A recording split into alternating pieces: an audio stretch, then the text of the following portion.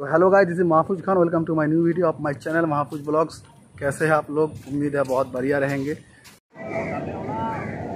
तो सियालदा सियालदा का जो बाहर गेट मेन गेट है, इसमें थोड़ा अभी डेकोरेशन किया है, देखिए, यहाँ पे सियालदा लिखा हुआ है, इस तरफ़ है। तो गाइज़ मैं आ गया हूँ सियालदा स्टेशन जहाँ पे से मेरे को लोकल बास पकड़ के जाना है।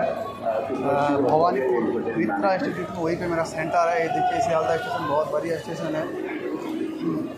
अभी मेरे को पानी पीना है, क्योंकि कल से कुछ पिया नहीं हूँ मैं। बस कोल्ड ड्रिंक्स पी के सो गया था रात को, अभी पानी पीना है, यहाँ पे पानी लेंगे एक स्टील वाटर ट्वेंटी रुपीज़ का। उसके बाद पानी पियेंगे। स्टेशन है one of the busiest station है हमारा कोलकाता का। तीन ही स्टेशन है, हावड़ा, चीतपुर है कलकत्ता। तो ये बहुत बिज़ी रहता है, क्योंकि हर टाइप का लोकल ट्रेन रिजर्वेशन ट्रेन भी मिलता है इसीलिए भीड़ बहुत होता है यहाँ पे लोग चारों तरफ़ से होता है। अभी तो थोड़ा बहुत रेस्ट्रिक्शन हो गया इसीलिए उतना प्रॉब्लम नहीं हो रहा है बहुत हो था लोग बाहर जगह से घुस जाता था अभी उतना दिखा नहीं हो रहा है। एंड इस इस तरफ़ से आपको मिल जाएगा मेट्रो स्टेशन बगल में ही है सौ मीटर दूरी में। एंड बस स्टॉप भी मिल जाएगा। फ्रंट में ही है।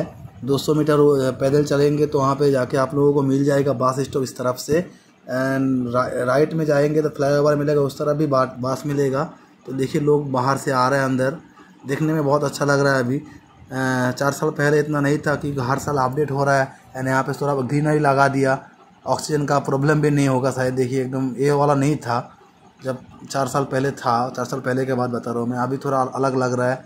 लेकिन बहुत बढ़िया लग रहा है। मेरे को तो मस्त लग रहा है सियालदा स्टेशन अभी। देखिए बाहर का तो कलकत्ता स्टेशन के बगल में ही देखिए आप खाने पीने का एंड कपड़ा वपड़ा लेने का बहुत सारा फुटपाथ में बहुत अच्छा अच्छा चीज़ मिल जाएगा तुम लोगों को। बहुत बढ़िया है यह। इधर उधर जाना नहीं पड़ेगा। बगल में ही है एकदम सियालदा स्टेशन के बगल में ही। तो सियालदा जो स्टेशन है उसका मेन गेट से राइट तरफ़ जो फ्लाई ओवर है उस उस, उस जगह से कलकत्ता सिटी के अंदर कहीं पे जाने के लिए आपको बस मिल जाएगा। तो मुझे भवानीपुर जाना है उस तरफ़ अभी मैं जाऊँगा बस पकड़ के।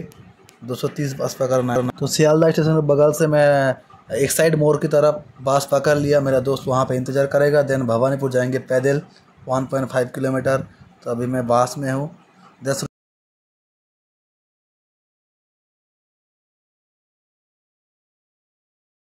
एक साइड मोड़ में यहाँ से दोनों का जो सेंटर है, दो किलोमीटर के आसपास में है। तो मेरा पहले उसका है तो सेंटर में जाएँगे, उसके बाद मेरा सेंटर में जाएँगे। अभी सुबह सुबह नाश्ता नहीं किया कुछ। पहले चाय पी लेंगे उसके बाद नाश्ता करेंगे फिर अपना सेंटर में जाएँगे। दस बजे एग्ज़ाम है इसका। उसके बाद मेरा है दो बजे से चार बजे तक। फिर थोड़ा घूमेंगे एंड रेस्ट करेंगे कल थोड़ा घूम के। परसों भी घूमेंगे कलकत्ता में उसके बाद जाएँगे सर फार्सी का जो एग्ज़ाम था वो एग्ज़ाम ख़त्म हो गया। हाँ। तो गाइज़ मेरा जो एग्ज़ाम था दो बजे से चार बजे तक दो घंटा का एग्ज़ाम वो अभी कंप्लीट हो गया एंड एग्ज़ाम सेंटर से मैं निकाल के अभी थोड़ा थोड़ा अभी एग्ज़ाम देने के बाद, थोड़ा लॉन्च किया, उसके बाद अभी पहुँच गया विक्टोरिया मेमोरियल हॉल। आज टाइम ज़्यादा नहीं है एंड टायर्ड भी हूँ, इसलिए उसके बगल में ही था। 500 मीटर दूरी में हमारा जो एग्ज़ाम सेंटर उसके 500 मीटर दूरी में था, इसीलिए इस जगह पे आ गया विक्टोरिया मेमोरियल हॉल।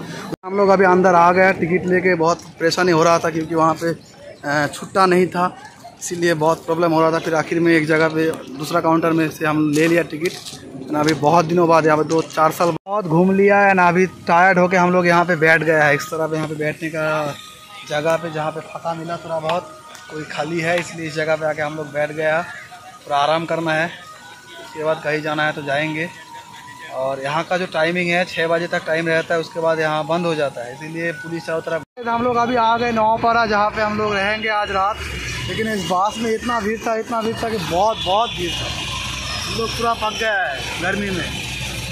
चलो, अभी नहा के फ्रेश होना ही है बहुत ख़राब लग रहा है, बहुत गर्मी लग रहा है एंड टायर टायर लग रहा है। लेकिन पैदल जाना है थोड़ा बहुत वन किलोमीटर, डेढ़ किलोमीटर।